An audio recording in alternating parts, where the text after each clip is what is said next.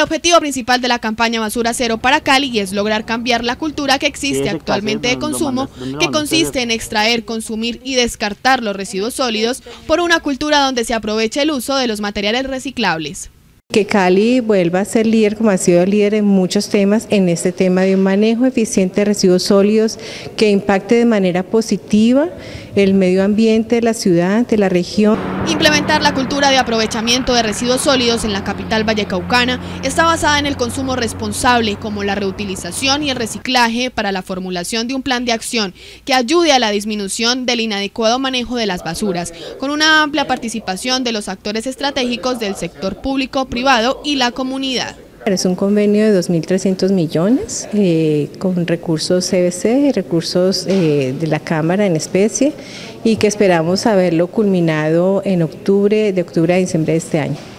El proyecto Cali Biodegradable busca vincular herramientas y políticas para el mejoramiento ambiental de la ciudad, una iniciativa que se desarrolla en zonas urbanas de la sucursal del cielo.